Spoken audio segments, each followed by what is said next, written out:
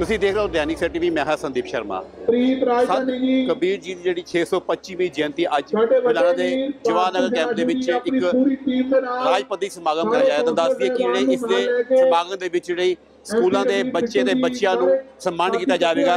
ਤਾਂ ਆਓ ਤੁਹਾਨੂੰ ਤਸਵੀਰਾਂ ਦਿਖਾ ਰਹੇ ਹਾਂ ਪਿੱਛੇ। ਅੱਜ ਲੁਧਿਆਣਾ ਵਿਖੇ ਸਤਿਗੁਰੂ ਕਬੀਰ ਜੀ ਦੇ ਲਿਆਓ। 625ਵੀਂ ਮੱਥਾ ਟਿਕਾ ਕੇ ਮੰਚ ਤੇ ਲਿਆਓ। ਜਿਹੜਾ ਸਮਾਗਮ ਹੋ ਰਿਹਾ ਲੁਧਿਆਣਾ ਦੇ ਜਵਾਹਰ ਕੈਂਪ ਜੀ ਦੇ ਵਿੱਚ। ਵਿਸ਼ੇਸ਼ ਤੌਰ ਤੇ ਕਾਂਗਰਸ ਦੇ ਸਾਬਕਾ ਮੰਤਰੀ ਭਾਰਤ ਭੂਸ਼ਣ ਆਸ਼ੂ ਇੱਥੇ ਵਿਸ਼ੇਸ਼ ਤੌਰ ਤੇ ਪਹੁੰਚੇ ਆ ਤੇ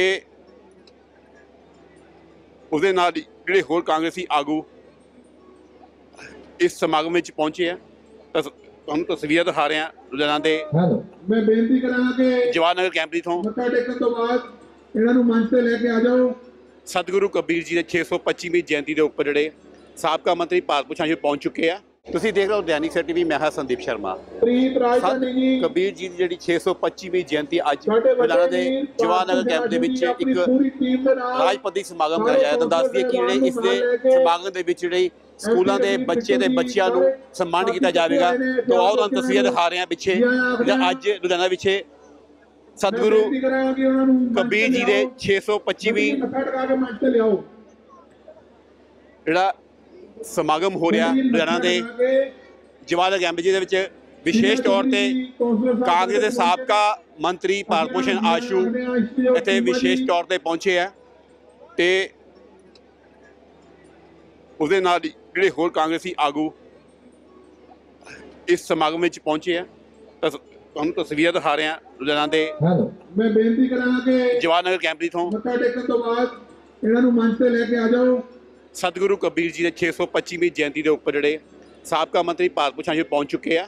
ਤੁਸੀਂ ਦੇਖ ਰਹੇ ਹੋ ਦੈਨਿਕ ਸਰ ਟੀਵੀ ਮੈਂ ਹਾਂ ਸੰਦੀਪ ਸ਼ਰਮਾ। ਪ੍ਰੀਤ ਰਾਜਧਾਨੀ ਜੀ। ਕਬੀਰ ਜੀ ਦੀ ਜਿਹੜੀ 625ਵੀਂ ਜਯੰਤੀ ਅੱਜ ਵੱਡੇ ਦੇ ਵੀਰ ਜਵਾਹਰ ਨਗਰ ਕੈਂਪ ਦੇ ਵਿੱਚ ਇੱਕ ਰਾਜਪਤੀ ਸਮਾਗਮ ਕਰਾਇਆ ਜਾਇਆ ਤਾਂ ਦੱਸ ਦਈਏ ਕਿ ਜਿਹੜੇ ਇਸ ਦੇ ਸਮਾਗਮ ਦੇ ਵਿੱਚ ਜਿਹੜੇ ਸਕੂਲਾਂ ਦੇ ਬੱਚੇ ਤੇ ਬੱਚੀਆਂ ਨੂੰ ਸਨਮਾਨ ਕੀਤਾ ਜਾਵੇਗਾ। ਤਾਂ ਆਓ ਤੁਹਾਨੂੰ ਤਸਵੀਰਾਂ ਦਿਖਾ ਰਹੇ ਹਾਂ ਪਿੱਛੇ। ਜਿਹੜਾ ਅੱਜ ਲੁਧਿਆਣਾ ਵਿਖੇ ਸਤਿਗੁਰੂ ਕਬੀਰ ਜੀ ਦੇ ਲਿਆਓ। 625ਵੀਂ ਮੱਥਾ ਟਿਕਾ ਕੇ ਮੰਚ ਤੇ ਲਿਆਓ।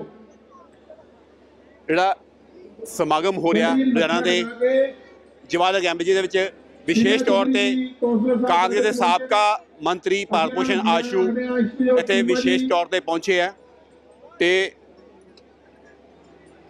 ਉਹਦੇ ਨਾਲ ਜਿਹੜੇ ਹੋਰ ਕਾਂਗਰਸੀ ਆਗੂ ਇਸ ਸਮਾਗਮ ਵਿੱਚ ਪਹੁੰਚੇ ਆ। ਤਾਂ ਤੁਹਾਨੂੰ ਤਸਵੀਰਾਂ ਦਿਖਾ ਰਹੇ ਆ ਲੁਧਿਆਣਾ ਦੇ ਮੈਂ ਬੇਨਤੀ ਕਰਾਂਗਾ ਜਵਾਹਰ ਨਗਰ ਕੈਂਪ ਦੀ ਤੋਂ। ਮੱਥਾ ਟੇਕਣ ਤੋਂ ਬਾਅਦ ਇਹਨਾਂ ਨੂੰ ਮੰਚ ਤੇ ਲੈ ਕੇ ਆ ਜਾਓ। ਸਤਿਗੁਰੂ ਕਬੀਰ ਜੀ ਦੇ 625ਵੀਂ ਜਯੰਤੀ ਦੇ ਉੱਪਰ ਜਿਹੜੇ ਸਾਬਕਾ ਮੰਤਰੀ ਭਾਰਤ ਭੂਸ਼ਣ ਆਸ਼ੂ ਪਹੁੰਚ ਚੁੱਕੇ ਆ।